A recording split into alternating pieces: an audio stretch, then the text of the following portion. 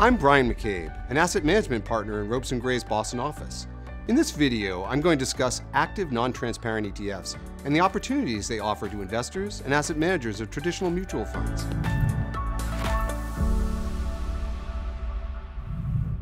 ETFs generally have a significant tax advantage over mutual funds.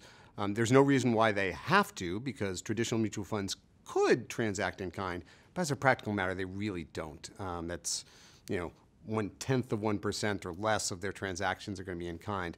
And in kind transactions are much more tax efficient. So the primary benefit, I'd say, is a tax benefit. You also pick up savings in transfer agency costs because ETFs generally don't pay transfer agency costs, and um, traditional mutual funds do. Um, in addition, ETFs generally don't pay 12b1 fees, distribution costs that um, are usually embedded in a mutual fund. So um, taken together uh, over time, you're going to generally save money in an ETF relative to a mutual fund. Um, people talk about that being the wrapper, um, the ETF or the mutual fund if it's offered, you can get the same strategy in either wrapper. And so the cost uh, differences can really drive the choice of, of the wrapper that you're looking for. For traditional managers who aren't offering ETFs, um, a lot of them have been looking at the ETF market, seeing it growing and saying, gee, wouldn't it have been nice, had I known this was going to happen, it might have been nice to be in the ETF space. This represents another natural entry point. Um, until the SEC approved the active non-transparent orders last year, um, an active manager basically couldn't create, um, couldn't offer the same strategy in ETF without giving away its secret sauce by um, posting its portfolio every day on trade date plus one.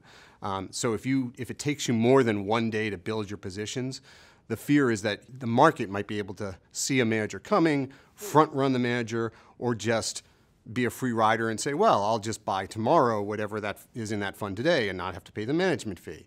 Um, the new non-transparent models offer a way to protect the alpha, the, the intellectual property of the um, asset manager um, while still getting into the ETF market. So it's an opportunity for asset managers to move into a new vehicle and offer their existing strategies or new strategies in ways that don't give away the store. There are a lot of advantages to using clones if you're an active manager because your product is well known, proven, accepted in the marketplace, brand recognition, um, scale. There are a lot of good reasons to um, uh, have your initial ETF offering be a clone of your successful traditional funds. The big challenge is trying to figure out pricing um, because even if you set your management fee uh, equally across the two vehicles, um, because of the cost advantages of ETFs, um, transfer agency costs, 12b1 fees that, that ETFs don't bear, the ETF is generally going to be less expensive than the traditional mutual fund. And so traditional managers are concerned that they might be cannibalizing their existing products, that people might move from the traditional fund into the ETF. Um, similarly, intermediaries who have sold the traditional fund might be worried that their clients might move over to some cheaper product on which they can't get a 12B1. Um, so it's more of a business challenge than a legal challenge, um, but those are the issues that a lot of asset, uh, traditional asset managers are wrestling with in this space.